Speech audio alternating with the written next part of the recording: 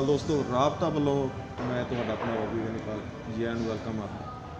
Behalf of media of South Australia Gurmeet Walia ji from Ajit Bachittar Kuhar ji, Punjab Tribune Punjabi Tribune Janoda ji from Punjabi Tribune ਹੋਰ ਸਾਰੇ media ਕਰਮੀ ਜਿਹੜੇ ਇਸ club ਦੇ ਨਾਲ ਜੁੜੇ ਹੋਏ ਨੇ, ਉਹਨਾਂ ਦੇ ਸਾਰਿਆਂ ਦੇ ਵੱਲੋਂ ਮੈਂ ਰੋਬੀ ਬੈਨੀਪਾਲ ਸਤਿੰਦਰ ਸਰਤਾਜ ਉਹਨਾਂ ਦਾ ਐਡੀਲੇਟ ਦੇ ਵਿੱਚ ਅੱਜ 4 ਮਈ 2019 ਨੂੰ ਸਵਾਗਤ ਕਰਦੇ ਹਾਂ। ਵੈਲਕਮ ਜੀ ਜੀ ਆਇਆਂ ਨੂੰ। ਸਤਿ ਸ਼੍ਰੀ ਅਕਾਲ ਜੀ ਸਤਿ ਸ਼੍ਰੀ ਅਕਾਲ ਜੀ ਸਾਰਿਆਂ ਤੁਸੀਂ ਆਏ ਜੀ ਸਾਡੇ ਵਿਹੜੇ ਜੀ। ਤੇ ਸਾਨੂੰ ਬਹੁਤ ਖੁਸ਼ੀ ਹੋਈ ਆ।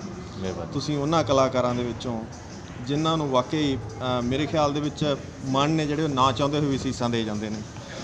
ਸੋ ਹੁਣ ਤੱਕ ਜਿਹੜੇ ਦੋ ਤਿੰਨ ਤਿੰਨ ਤੁਹਾਡੇ ਸ਼ੋਅ ਹੋ ਗਏ ਨੇ ਉਹ ਸਫ਼ਰ ਕਿਦਾਂ ਦਾ ਰਿਹਾ ਤੁਹਾਡਾ? ਅ, ਦੋ ਸ਼ੋਅ ਹੋਇਆ ਜੀ ਹਾਲ ਤੱਕ ਸਿਡਨੀ ਤੇ ਮੈਲਬਨ ਦਾ। ਤੇ ਦੋਨੋਂ ਹੀ ਸਕਸੈਸਫੁਲ ਸ਼ੋਅ ਕਹਿ ਸਕਦੇ ਹਾਂ ਸੋਲਡ ਆਊਟ ਸੀਗੇ ਦੋਨੋਂ। ਪਹਿਲਾ ਤਾਂ ਸਿਡਨੀ ਓਪਰਾ ਹਾਊਸ ਦਾ ਦੀ ਇੱਕ ਆਪਣੀ ਅਹਿਮੀਅਤ ਹੈ। ਅ, ਦੁਨੀਆ ਦੀਆਂ ਬਿਹਤਰੀਨ ਇਮਾਰਤਾਂ ਦੇ ਵਿੱਚ ਵੀ ਤੇ ਕਨਸਰਟ ਹਾਲਸ ਦੇ ਵਿੱਚ ਵੀ।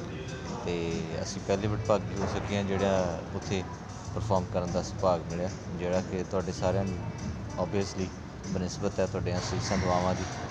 ਤੇ ਦੂਸਰਾ ਮੈਲਬਨ ਦੇ ਸੈਂਟਰ ਸੀਗਾ ਸੰਡੇ ਨੂੰ ਅਹ, 29th ਆਫ April ਨੂੰ ਅਹ, 28th ਆਫ April ਨੂੰ। ਉੱਤ ਉਹ ਵੀ ਕਨਸਰਟ ਹੁਣ ਤੱਕ ਦਾ ਮੇਰੇ ਖਿਆਲ ਮੈਲਬਨ ਦਾ ਬੈਸਟ ਕਨਸਰਟ ਹੈ। ਸਤਿੰਦਰ ਸਰ ਸਤਿੰਦਰ ਤੋਂ ਸਤਿੰਦਰ ਸਰਤਾਜ ਕਿੱਦਾਂ ਬਣਿਆ? ਬਹੁਤ ਸਾਰੀਆਂ ਇੰਟਰਵਿਊਜ਼ ਨੇ ਜਿਨ੍ਹਾਂ ਦੇ ਵਿੱਚ ਸਾਨੂੰ ਸੁਣਨ ਨੂੰ ਪਤਾ ਮਿਲਦਾ ਸਾਡੇ ਸਰੋਤੇ ਦਰਸ਼ਕ ਜਿਹੜੇ ਤੁਹਾਡੇ ਚਾਹਣ ਵਾਲੇ ਨੇ ਸਾਰਿਆਂ ਨੂੰ ਤੁਹਾਡੀ ਜ਼ਿੰਦਗੀ ਦੇ ਬਹੁਤ ਸਾਰੇ ਪਾਸ ਦਾ ਪਤਾ।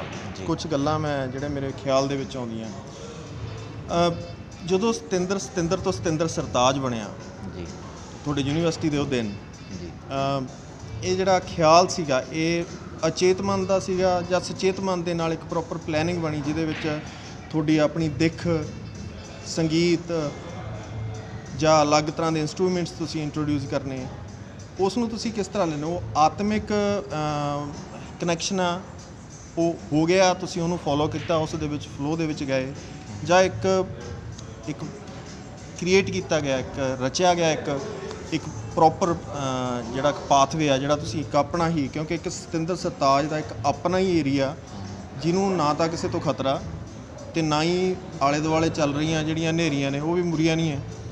ਉਹਨੂੰ ਇੰਪੈਕਟ ਕਰ ਸਕਦੀਆਂ ਨੇ। ਸੋ ਤੁਸੀਂ ਇੱਕ ਆਪਣਾ ਐਰਾ ਜਿਹੜਾ ਇੱਕ ਆਪਣਾ ਸਮਾਂ ਬਣਾ ਕੇ ਇਤਿਹਾਸ ਦੇ ਵਿੱਚ ਵਿਚਰ ਰਹੇ ਹੋ। ਜੀ। ਤੇ ਇੱਕ ਪਲਾਨਡ ਸੀਗਾ ਜਾਂ ਕੁਦਰਤੀ ਇੱਕ ਰੰਗ ਸੀਗਾ ਜਿਹਦੇ ਵਿੱਚ ਤੁਸੀਂ ਆਪਣੇ ਆਪ ਨੂੰ ਰੰਗ ਦੇ ਤੁਰੇ ਜਾ ਰਹੇ ਹੋ? ਇੱਕ ਤਾਂ ਦੇਖੋ ਬਹੁਤ ਵੱਡਾ ਕੰਪਲੀਮੈਂਟ ਹੈ ਕਿ ਕਿਹਾ ਕਿ ਅਸੀਂ ਇੱਕ ਆਪਣਾ ਐਰਾ ਸਿਰਜ ਕੇ ਇਤਿਹਾਸ ਚੱਲ ਰਹੇ ਹਾਂ। ਇਹ ਆਪਣੇ ਆਪ 'ਚ ਬਹੁਤ ਵੱਡੀ ਅਚੀਵਮੈਂਟ ਹੁੰਦੀ ਹੈ ਮੇਰੇ ਖਿਆਲ ਰੀਅਲ ਦੀ ਦੁਨੀ ਜ਼ਿੰਦਗੀ ਦੇ ਵਿੱਚ ਜੇ ਦੁਨੀਆ 'ਚ ਇਹੋ ਜਿਹੀਆਂ ਚੀਜ਼ਾਂ ਹੈਪਨ ਹੁੰਦੀਆਂ ਮੈਨੂੰ ਨਹੀਂ ਲੱਗਦਾ ਕਿ ਮੈਂ ਕੋਈ ਏਡੀ ਵੱਡੀ ਹਸਤੀਆਂ ਜਾਂ ਕੋਈ ਕੰਮ ਕੀਤਾ ਜਿਹਦਾ ਜਿਹਦੇ ਲਈ ਇਹ ਲਫ਼ਜ਼ ਵਰਤੇ ਜਾਣ। Thank you very much for the admiration but plan ਵਾਲੀਆਂ ਚੀਜ਼ਾਂ ਜਿਹੜੀਆਂ ਨਾ ਜੀ ਉਹ ਆਬਵੀਅਸਲੀ ਉਹ ਪਲਾਨ ਵਰਗੀਆਂ ਹੀ ਹੁੰਦੀਆਂ ਨੇ। ਕਦੀ ਸਦੀਵੀ ਨਹੀਂ ਹੁੰਦੀਆਂ। ਜਿਹੜੀਆਂ ਚੀਜ਼ਾਂ ਆਪ ਮੁਹਾਰੇ ਵਾਪਰਦੀਆਂ ਨੇ, ਸਦੀਵੀ ਉਹੀ ਹੁੰਦੀਆਂ ਨੇ, ਮੇਰੇ ਖਿਆਲ 'ਚ। ਜਾਂ ਉਹਨਾਂ ਦੀ ਉਮਰ ਲੰਬੀ ਹੁੰਦੀ ਹੈ ਜਾਂ ਸਾਰਿਆਂ ਦੇ ਲਈ ਉਹ ਇੱਕੋ ਜਿਹੀ ਲੱਗਦੀ ਆ ਤੇ ਸਾਰਿਆਂ ਨੂੰ ਆਪਣੀ ਆਪਣੀ ਲੱਗਦੀ ਹੈ ਸੋ ਮੈਂ ਇਹ 'ਚ ਕੁਝ ਵੀ ਪਲੈਨਿੰਗ ਨਹੀਂ ਸੀ। ਮੈਨੂੰ ਤੇ ਜਿਹੋ ਜਿਹਾ ਜੀ ਕਰਦਾ ਰਿਹਾ ਕਿਉਂਕਿ ਮੇਰੀ ਜ਼ਿੰਦਗੀ 'ਚ ਕਦੀ ਆਰਟਿਸਟ ਫਨਕਾਰ ਜਾਂ ਗਵਈਆ ਬਣਨਾ ਕਦੀ ਖੁਆਇਸ਼ ਨਹੀਂ ਸੀਗਾ। ਮੈਂ ਤੇ 뮤직 ਦਾ ਪ੍ਰੋਫੈਸਰ ਬਣਨਾ ਚਾਹੁੰਦਾ ਸੀ। ਸੋ ਉਹਦੇ ਲਈ ਤੁਸੀਂ ਜਿਹੜੀਆਂ ਦੂਸਰੀਆਂ ਚੀਜ਼ਾਂ ਹੁੰਦੀਆਂ, ਉਹਨਾਂ ਨੂੰ ਅਣਗੌਲਿਆਂ ਕਰਕੇ ਜਾਂ ਬਿਨਾਂ ਸੋਚਿਆ ਸਮਝਿਆ ਕਰਦੇ ਰਹਿੰਦੇ ਕਿ ਚਲੋ ਪ੍ਰੋਫੈਸਰ ਤਾਂ ਬਣ ਹੀ ਗਏ ਹੁਣ ਬਾਕੀ ਜੋ ਹੈਗਾ, ਹਨਾ, ਉਹਨੂੰ ਇੰਜੋਏ ਕਰਨਾ ਚਾਹੀਦਾ। ਜਿਵੇਂ ਛੋਟੇ ਛੋਟੇ ਅਫਸਾਨੇ ਲਿਖਣੇ ਛੋਟੀ ਛੋਟੀ ਮਹਿਫਲਾਂ 'ਚ ਗਾਉਣੇ ਜਿੱਦਾਂ ਦਾ ਜੀ ਕੀਤਾ, ਬਾਬਾ ਵਾਰਸ਼ਾ ਵਰਗਾ ਲਿਬਾਸ ਬਣਾ ਲਿਆ ਤੇ ਜਿਹੜਾ ਤਖੱਲੁਸ ਆਇਆ ਰੱਖ ਲਿਆ। ਸੋ ਇਹਦੇ ਵਿੱਚ ਕੁਝ ਵੀ ਪਲਾਨ ਨਹੀਂ ਸੀਗਾ। ਕਦੀ ਇਹ ਨਹੀਂ ਸੀ ਸੋਚਿਆ ਕਿ ਤੁਸੀਂ ਰਾਇਲ ਅਲਬਰਟ ਹਾਲ ਜਾਂ ਸਿਡਨੀ ਓਪਰਾ ਹਾਊਸ ਵਰਗੀਆਂ ਥਾਵਾਂ ਤੇ ਪਰਫਾਰਮ ਕਰੋਗੇ। ਤੁਸੀਂ ਕਦੀ ਇਹ ਨਹੀਂ ਸੀ ਸੋਚਿਆ ਕਿ ਤੁਸੀਂ ਹਾਲੀਵੁੱਡ ਫਿਲਮ ਇੰਡਸਟਰੀ ਵਿੱਚ ਪਹਿਲਾ ਆਪਣਾ ਡੈਬਿਊ ਕਰੋਗੇ ਲੀਡ ਐਜ਼ ਐਨ ਐਕਟਰ ਇੱਕ ਇੰਗਲਿਸ਼ ਫਿਲਮ ਸਭ ਤੋਂ ਪਹਿਲਾਂ ਕਰੋਗੇ। ਸੋ ਇਹ ਸਾਰੀਆਂ ਚੀਜ਼ਾਂ ਮੈਨੂੰ ਲੱਗਦਾ ਇੱਕ ਵਡਭਾਗ ਦੇ ਤੌਰ ਤੇ ਜਾਂ ਬਖਸ਼ਿਸ਼ ਦੇ ਤੌਰ ਤੇ ਹੀ ਹੋਈਆਂ। ਅੱਜ ਦੀ ਦੌਰ ਦੇ ਵਿੱਚ ਜੋ ਤੁਸੀਂ ਕਰਨ ਲੱਗੇ ਹੋਏ ਹੋ ਹਾਂਜੀ। ਉਹ ਮੈਨੂੰ ਇਹ ਲੱਗਦਾ ਵੀ ਜਿੱਧਰੋਂ ਹਵਾ ਚੱਲ ਰਹੀ ਹੈ ਉਹਦੇ ਉਲਟ ਵਾਲੀ ਦਸ਼ਾ ਦੇ ਵਿੱਚ ਤੁਸੀਂ ਆਪਣੇ ਆਪ ਨੂੰ ਤੋਰਿਆ ਹੋਇਆ। ਜੀ। ਔਰ ਫਿਰ ਵੀ ਉਸ ਜਨਰੇਸ਼ਨ ਨੂੰ ਤੁਸੀਂ ਚਾਹੇ ਉਡਾਰੀਆਂ ਗੀਤ ਦੇ ਨਾਲ ਜੋੜ ਲਿਆ ਚਾਹੇ ਜਾਮੇ ਦੇ ਨਾਲ ਜੋੜ ਲਿਆ ਚਾਹੇ ਤੁਸੀਂ ਕਿਸ ਤਰ੍ਹਾਂ ਵੀ ਉਹਨਾਂ ਨੂੰ ਜੋੜਿਆ ਜਦੋਂ ਤੁਹਾਡੀ ਆਡੀਅנס ਦੇ ਵਿੱਚ ਯੰਗ ਜਨਰੇਸ਼ਨ ਬੈਠੀ ਹੁੰਦੀ ਆ ਤਾਂ ਉਹ ਵਾਕਈ ਆਪਣੇ ਆਪ ਨੂੰ ਫੀਲ ਹੁੰਦਾ ਕਿ ਹਾਂ ਸਾਡਾ ਭਵਿੱਖ ਆ ਜਿਹੜਾ ਉਹ ਵਾਕਈ ਸਟਰੋਂਗ ਹੈਗਾ ਕਿੱਥੇ ਤੱਕ ਕੀ ਕੀ ਮਨ ਦੇ ਵਿੱਚ ਕਦੇ ਤਾਂ ਸਤਿੰਦਰ ਸਰਤਾਜ ਸੋਚਦਾ ਹੋਣਾ ਕਿ ਯਾਰ ਨਹੀਂ ਇਹ ਸਫ਼ਰ ਆ ਜੇ ਇੱਥੋਂ ਇੱਧਰ ਨੂੰ ਡਾਇਰੈਕਸ਼ਨ ਲਈ ਤੇ ਜਾਂ ਲੈ ਲਈ ਜਾਵੇ ਤਾਂ ਕੀ ਮਤਲਬ ਉਹ ਖਿਆਲ ਕੀ ਹੁੰਦੇ ਆ? ਨਹੀਂ ਮੇਰੇ ਖਿਆਲ ਨਹੀਂ ਮੈਂ ਤੁਹਾਨੂੰ ਉਹੀ ਕਹਿਣਾ ਕਿ ਮੈਂ ਬਹੁਤ ਹੀ ਅਨਪਲੈਨਡ ਜਿਹਾ ਹਿਊਮਨ ਆ ਮੈਨੂੰ ਪਲਾਨਡ ਚੀਜ਼ਾਂ ਮੈਂ ਤਾਂ ਨਹੀਂ ਕਹੂੰਗਾ ਵੀ ਚੰਗੀਆਂ ਨਹੀਂ ਲੱਗਦੀਆਂ ਪਰ I don't prefer to plan things ਜੇ ਤੁਸੀਂ ਮੈਨੂੰ ਅੱਜ ਕਹੋਗੇ ਅੱਛਾ ਯਾਰ ਅਗਲੇ ਸੈਟਰਡੇ ਫਿਸ਼ਿੰਗ ਕਰਨ ਜਾਵਾਂਗੇ ਤੇ ਮੇਰਾ ਉਹ ਫਿਸ਼ਿੰਗ ਕਰਨ ਦਾ ਸਾਰਾ ਚਾਅ ਅੱਜ ਹੀ ਲੈ ਜਾਣਾ। ਜੇ ਤੁਸੀਂ ਮੈਨੂੰ ਸੈਟਰਡੇ ਗੱਡੀ 'ਚ ਬਿਠਾਓਗੇ ਕਿ ਚਲੋ ਚਲੀਏ ਤੇ ਮੈਨੂੰ ਲੱਗੂਗਾ ਯੈਸ ਲੈਟਸ ਗੋ ਸੋ ਮੈਂ ਇਨਸਟਿੰਕਟਿਵ ਜਿਹੜੀ ਮਾਈਂਡਨੈਸ ਹੈ ਨਾ ਉਹਦੇ 'ਚ ਜ਼ਿਆਦਾ ਬਲੀਫ ਹੈ ਮੇਰਾ। ਕਦੀ ਇਹ ਨਹੀਂ ਅੱਛਾ ਯਾਰ ਅਗਲੇ ਸਾਲ ਇਦਾਂ ਦਾ ਗਾਣਾ ਬਣਾਵਾਂਗੇ ਇੱਥੇ ਵੀਡੀਓ ਸ਼ੂਟ ਕਰਾਂਗੇ ਜਾਂ ਉਹਨੂੰ ਯੂ نو ਵਟਐਵਰ ਇਸ ਤਰ੍ਹਾਂ ਦੀਆਂ ਕੋਈ ਪਲੈਨਿੰਗਸ ਦੀ ਮੇਰੀਆਂ ਹੈਗੀਆਂ। ਹੋ ਸਕਦਾ ਤੁਹਾਨੂੰ ਲੱਗਦਾ ਹੋਵੇ ਕਿ ਮੈਂ ਝੂਠ ਬੋਲ ਰਿਹਾ ਬਟ ਸਮ ਹੋ ਕਿਤੇ ਨਾ ਕਿਤੇ ਜਾ ਕੇ ਜਸਟੀਫਾਈ ਹੋਏ ਜਾਣਗੀਆਂ। ਅੱਜ ਨਹੀਂ ਤੇ ਕੱਲ ਨਾ। ਫੇਰ ਪਤਾ ਲੱਗ ਜਾਊਗਾ। ਛੇੜੀਏ ਨਾ ਪਿਆਰ ਦੇ ਮਰੀਜ਼ ਨੂੰ ਅਸੀਂ ਹੁਣੇ ਇੱਕ ਵੀਡੀਓ ਸ਼ੂਟ ਕਰ ਰਹੇ ਸੀ। ਇੱਥੇ ਐਡਲੇਡ ਵੀ ਅਸੀਂ ਇੱਕ ਗਾਣਾ ਸ਼ੂਟ ਕਰਾਂਗੇ ਜੀ ਤੁਹਾਨੂੰ ਇੱਕ ਖੁਸ਼ਖਬਰੀ। ਹੈ ਤੇ ਕਿਉਂਕਿ ਇਹ ਮੇਰਾ ਮੋਸਟ ਫੇਵਰਿਟ ਸ਼ਹਿਰ ਹੈ ਆਸਟ੍ਰੇਲੀਆ ਦਾ।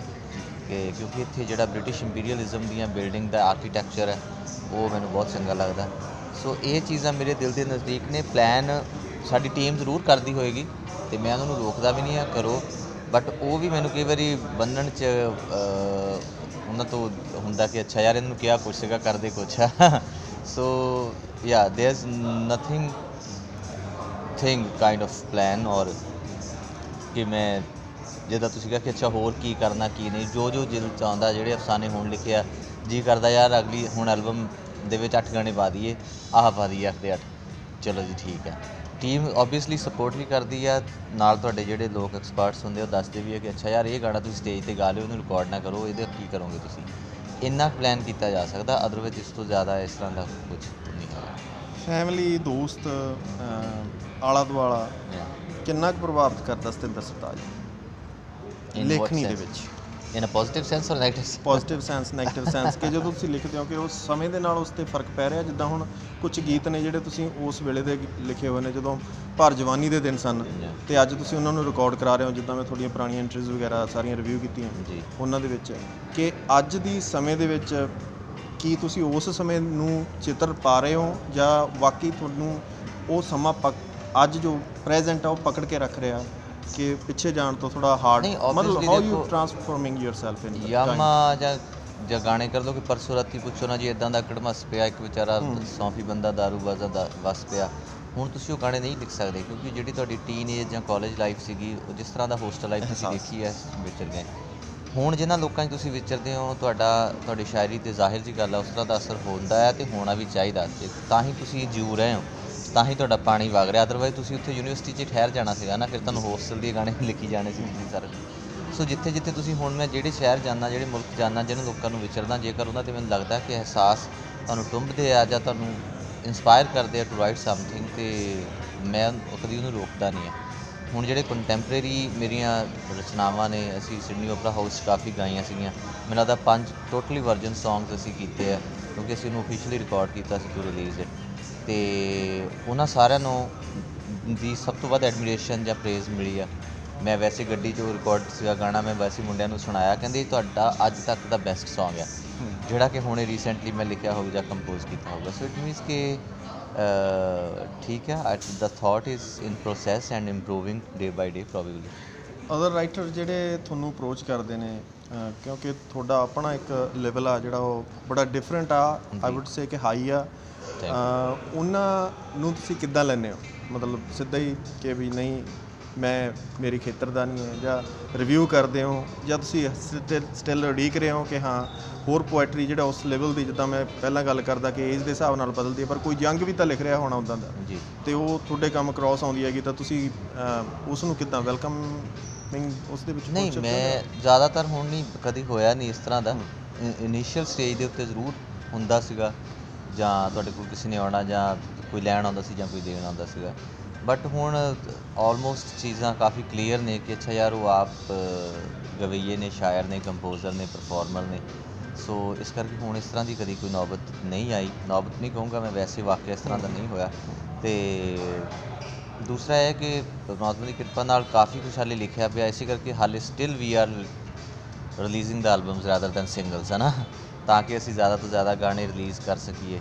ਸੋ ਮੈਨੂੰ ਲੱਗਦਾ ਕਿ ਉਹ ਖਤਮ ਕਰ ਲਈਏ ਕਾਫੀ ਹੱਦ ਤੱਕ। ਕਾਫੀ ਹੱਦ ਤੱਕ ਹਾਂ ਬਹੁਤ ਚੰਗਾ ਲੱਗਿਆ ਜੀ ਤੁਹਾਡੇ ਨਾਲ ਗੱਲਬਾਤ ਕਰਕੇ। ਸੰਖੇਪ ਜਿਹਾ ਤੁਸੀਂ ਸਾਨੂੰ ਸਾਥ ਦਿੱਤਾ। ਥੈਂਕ ਯੂ ਤੇ ਐਡੀਲੇਟ ਦੇ ਵਿੱਚ ਅਸੀਂ ਤੁਹਾਨੂੰ ਵੈਲਕਮ ਕਰਦੇ ਹਾਂ। ਔਰ ਅਸੀਂ ਚਾਹੁੰਦੇ ਹਾਂ ਕਿ ਹਰ ਸਮੇਂ ਜਦੋਂ ਵੀ ਤੁਸੀਂ ਆਸਟ੍ਰੇਲੀਆ ਆਓ ਐਡੀਲੇਟ ਦੀਆਂ ਘਟ ਰਹੀਆਂ ਉਹ ਇਤਿਹਾਸਕ ਬਿਲਡਿੰਗਾਂ ਨੇ ਜਿਹੜੀਆਂ ਉਹਨਾਂ ਦਾ ਜਿੰਨਾ ਜ਼ਿਆਦਾ ਆਨੰਦ ਮਾਣੋ ਤਾਂ ਮਾਣ ਸਕੋ।